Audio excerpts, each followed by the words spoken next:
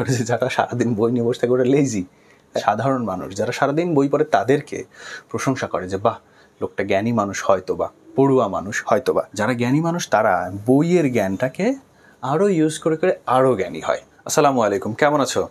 First ইয়ারের first class এবং আজকের ক্লাসে আমরা এমন কিছু জানব যেটা হ্যাঁ সারা জীবন তো আমরা পড়াশোনা করে এসেছি। পড়াশোনা বিষয়ে এমন কিছু কথা বলব আসলে পড়াশোনা না, পড়া বিষয়ে। যে বই পড়লে কি হয়, কারা পড়ে কীভাবে পড়ে, কারা পড়ে না, কেনই বা পড়ি, কেন বা পড়তে ইচ্ছে করে না, এত আসলে লজিক্যাল বিষয় না। কিছু অসাধারণ কথা আমরা তোমাদের সাথে শেয়ার করব আজকে, যেটা সত্যিই ভালো লাগবে। এবং এর আগে কখনো আমরা এইভাবে চিন্তাও করে দেখিনি। তো আজকে ফার্স্ট ইয়ারের ফার্স্ট ক্লাস আর ফার্স্ট ইয়ারের আমরা হচ্ছে একটি কোর্স তৈরি করতে যাচ্ছি তোমাদের জন্য। আজকে introduction to prose introduction to প্রোজের প্রথম ক্লাস এটা ন্যাশনাল ইউনিভার্সিটি বা সেভেন কলেজ দুটোর জন্যই আমার এই কোর্সটি থাকবে। ওকে তো তোমরা যেখানকার স্টুডেন্টই হও দেখতে পারবে। আজকের ক্লাসটা হচ্ছে ফ্রান্সিস বেকনের লেখা। আজকের ক্লাস করার পরে ফ্রান্সিস বেকনের ফ্যান হয়ে যাবে তুমি, আমার বিশ্বাস। তো ফ্রান্সিস বেকন এই যে টেক্সট আজকের যে বইটা, এই বইয়ের নাম হচ্ছে অফ স্টাডিজ অফ শব্দটাকে আমরা প্রত্যেকটা ফ্রান্সিস বেকনের সব টেক্সটের আগে এটা লেখা দেখব, কিন্তু আমরা এটাকে ধরে নিব যে এটা লেখা আছে হচ্ছে অ্যাবাউট অর্থাৎ পড়া সম্পর্কে বা পড়াশোনা সম্পর্কে। স্টাডি শব্দের আরও অর্থ আছে গবেষণা। আমরা এখানে পড়া বা বই পড়া রিডিং পড়া, গল্প পড়া। আসলে এটা অনেক আগে লেখা, তো দেখো লোকটার প্রায় চারশো বছর আগের একজন মানুষ। তো ওই সময় একাডেমিক পড়াশোনা নিয়ে এত চিন্তাভাবনা বা কথাবার্তা ছিল না। তো তখন জাস্ট নর্মালি বই পড়া সম্পর্কে কিছু কথা বলেছেন। আমরা সে সম্পর্কে আজকে জানব। একদম শুরুর দিকে ফ্রান্সিস বেকন পড়া নিয়ে আমাদের বেশ কিছু ধারণা দিয়েছেন। অসাধারণ কিছু ধারণা যেরকমভাবে আমরা কখনো ভাবিনি। তো উনি একদম প্রথমেই বলেছেন যে আমরা বই পড়ব কেন বা কেন পড়ে মানুষ? বই সাধারণত মানুষ কেন পড়ে? আমরা ফ্রান্সিস বেকন সম্পর্কেও জানব একটু পরেই। একদম প্রথমেই বলেছে যে সাধারণত স্টাডি সার্ভস ফর ডেলাইট পড়াশোনা মানুষ কেন করে? আনন্দের জন্য। D L I G H T আমরা একটু মোটা কালি দিয়ে লিখি, তাহলে তোমাদের দেখতে সুবিধা হবে। ডেলাইট আনন্দের জন্য। ওকে আনন্দ কোনটা যখন আমরা সাহিত্য বা গল্প পড়ি, তখন কিন্তু আমরা অবসর সময় তখন মোবাইল ছিল না, কিচ্ছু ছিল না, আনন্দের জন্য মানুষ পড়তো। আরেকটা কাজ, সেটা হচ্ছে অর্নামেন্ট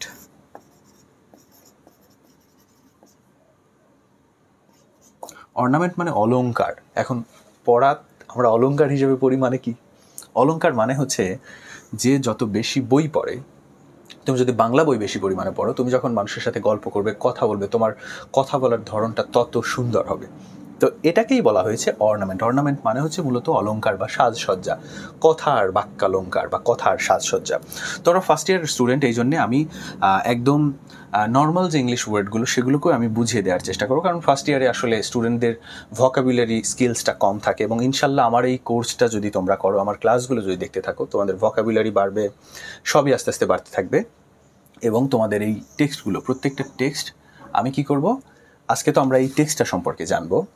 নেক্সট ক্লাসে আমরা জানব অফ স্টাডিজ থেকে যে শর্ট কোয়েশ্চেন এক্সামে আসে, যে ব্রড সিলেক্টেড কিছু কোয়েশ্চেন প্রতি বছর এক্সামে আসে।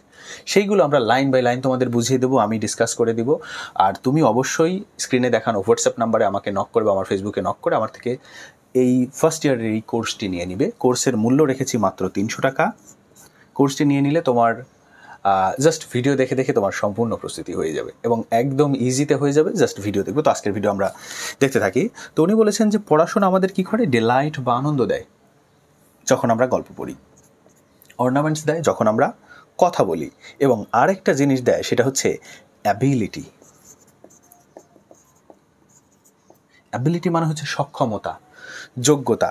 কিসের অ্যাবিলিটি দেয়? যখন মানুষ জাজমেন্ট করে বা কোনো ব্যবসা কোনো জিনিস নিয়ে যখন সিদ্ধান্ত নিতে যায়, যে কোনো তুমি একটা চূড়ান্ত একটা ব্যাপারে তুমি সিদ্ধান্ত নিতে গেছো। তোমার মাথায় যদি জ্ঞান না থাকে বা পড়াশোনার যদি অভিজ্ঞতা কম থাকে, তাহলে সিদ্ধান্ত নিতে গিয়ে দেখবে তোমার একটু হিমশিম খাটতে হচ্ছে, হিমশিম খেতে হচ্ছে। ওনাকে জিজ্ঞেস করছি, বড় ভাই, বাবা, মা, সবাইকে জিজ্ঞেস করতে তুমি যদি অনেক জ্ঞানী মানুষ হও, তুমি নিজেই সিদ্ধান্ত নিতে পারবা। কীভাবে জ্ঞানী হতে হবে? বই পড়ার মাধ্যমে। তো এটাও অনেকটা মানে মজার দিকে যাইনি আমরা। আমরা আরও কিছু অসাধারণ জিনিস আমরা জানব এই টেক্সটে। পড়াশোনা নিয়ে ফ্রান্সিস বেকন আচ্ছা আমরা এই টেক্সটে আরেকটু ইন্ট্রোডাকশন দিয়ে দিই, এবার আমরা একটু ফ্রান্সিস বেকন সম্পর্কে কথা বলি। এই ব্যক্তিটা ছিল হচ্ছে ফ্রান্সিস বেকন ওনার বাবার নামও আসলে নিকোলাস বেকন ছিল। নাম ওনার বাবার নাম আমাদের দরকার নেই। ওনার এটা ছিল হচ্ছে life duration sixty five years উনি বেঁচে ছিলেন। এটা তোমাদের ইচ্ছা, চাইলে মনে রাখতে পারো।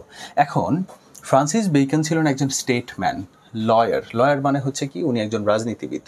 একই সাথে স্টেটমেন্ট বলতে ওনার পদ ছিল হচ্ছে ভিসকন্ট এখন ভিসকন্ট তোমরা জিনিসটা বুঝবা না, আমি একটু বুঝাই দিচ্ছি। সবচেয়ে যে বড় থাকে একটা কান্ট্রির এটা হচ্ছে ইংল্যান্ডের হেরিডেটারি টাইটেল বা ইংল্যান্ড রাজা বাদশাদের যে টাইটেল পদবি সেটা সবচেয়ে বড় থাকে হচ্ছে এম্পেরর সম্রাট ই এম পিই আর ও আর এম্পেরর তারপর থাকে হচ্ছে কি? King or queen K I N G king queen king কুইনের পরে থাকে কে? কিং কুইনের পরে থাকে হচ্ছে আমাদের রাজা বাদশারা, অর্থাৎ সরি প্রিন্স প্রিন্সেস প্রিন্স রাজপুত্র। রাজপুত্রের পরের যেটা, সে হচ্ছে মার্কুইশ মার্কুইশ তারপরে থাকে আর্ল।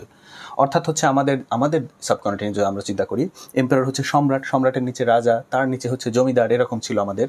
তো ওদের এইরকম এবং আর্লের পরে এসে ভিসকাউন্ট ভিসকাউন্ট হচ্ছে আমাদের এই ফ্রান্সিস বেকনের পদ। এটা আসলে পরবর্তীতে লাগবে। তোমরা যখন পড়তে যাবে, অনেক জায়গাতে আর্ল শব্দটা পাবে, ব্যারন শব্দটা পাবে মার্কুইস শব্দটা পাবে। জানতে যাতে সমস্যা না হয়, আমরা প্রথম ক্লাসেই সব জেনে দেবো। তো ভিসকাউন্টের পর ছিল ব্যারন তারপরে আছে ব্যারোনেট এরকম অনেকগুলো রয়্যাল হেরিডিটারি টাইটেল থাকে ইংল্যান্ডে। তো ফ্রান্সিস বেকন একজন একই সাথে ফিলোসফার রাইটার প্রোজ রাইটার আর কি, অনেক অনেক ওনার পদবি ছিল। উনি একজন জ্ঞানী মানুষ ছিলেন এবং উনি সম্ভ্রান্ত একটা পরিবারে জন্মগ্রহণ করেন। আচ্ছা এবার ফ্রান্সিস বেকন সম্পর্কে আমরা আরও কিছু জিনিস জানব। এবারে সবচেয়ে মজার জিনিসগুলো জানব, সেটা হচ্ছে পড়াশোনা মানুষ, এই যে বই পড়া আর কি, তৎকালীন সময়ে আমাদের ফ্রান্সিস বেকন বলেছেন যে ক্রফটি ম্যান অর্থাৎ কাজের লোক যারা। ক্রফটি ম্যান বই পড়াকে কি করে জানো? বলে যে এটা হচ্ছে waste of time contemn studies অর্থাৎ পড়াশোনাকে দোষারোপ করে যে তুই তো বেচারা আলসে লেজি ওনাদের যারা খুবই কাজের লোক, তৎকালীন সময়ের চিন্তায় ওনারা পড়াশোনাকে মনে করে যে যারা সারাদিন বই নিয়ে বসে থাকে, ওরা লেজি হ্যাঁ। তারপর কি আছে? সিম্পল ম্যান অ্যাডমায়ার দেম যারা সিম্পল সাধারণ। স্ক্রিনের লেখাগুলো একটু দেখবে। সিম্পল ম্যান কি করে? অ্যাডমায়ার করে। অ্যাডমায়ার মানে হচ্ছে প্রশংসা করা, অর্থাৎ সাধারণ মানুষ। যারা সারাদিন বই পড়ে তাদেরকে প্রশংসা করে যে, বাহ, লোকটা জ্ঞানী মানুষ হয়তো বা পড়ুয়া মানুষ হয়তো বা আর কি করে? Wise man use them wise man যারা জ্ঞানী। ওয়াইজ ম্যান কি করে? ইউজ করে। আহা, কি সব বানান লিখতেছি। যারা জ্ঞানী মানুষ, তারা বইয়ের জ্ঞানটাকে আরও ইউজ করে করে আরও জ্ঞানী হয়। ঠিক আছে? তো এটাও আমরা ফ্রান্সিস বেকেনের এই টেক্সটের মধ্যে পাবো। আসলে আমরা অফ স্টাডিজ হচ্ছে একটা গদ্য প্রোজ অফ স্টাডিজ একটা গদ্য বা প্রোজ প্রোজ হচ্ছে কেমন? প্রোজ এমন একটা টেক্সট যেটাকে মোটামুটি বিশ পঁচিশ মিনিটের মধ্যে পড়ে কমপ্লিট করে ফেলা যায়। সেটা কোনো ছন্দ কাব্যটাব্য না, কবিতা না, অবশ্যই কবিতা না, উপন্যাস না, অত বড় না, ছোট গল্পের চাইতেও ছোট। এবং একটা সিঙ্গেল বিষয় নিয়ে সেখানে লেখা থাকে, সেটাকে আমরা বলি হচ্ছে প্রোজ এখন কথা হচ্ছে, ভাইয়া প্রোজ জিনিসটা যে, এটা যে প্রোজ সেটা তো আগে বলা উচিত ছিল। আগে বললে হয় কি, আসলে আমি সবসময় পড়াটাকে এই ফর্মাল স্টাডির থেকে বাইরে নিয়ে আসতে চাই। ঠিক আছে? পড়ব যেন, মনে হয় যেন আনন্দ করে পড়ছি। কেন আমরা, আজকে আমরা শিখব, এই এই টেক্সট এটা কীভাবে কী হয়েছিল? এরকম পড়াটা আমার কাছেও বিরক্ত লাগতো। আমার বিশ্বাস এটা এরকমটা আসলে পড়ানো উচিত না। তাহলে, পড়াশোনা কোন মানুষের কাছে কেমন, সেটা আমরা জানলাম।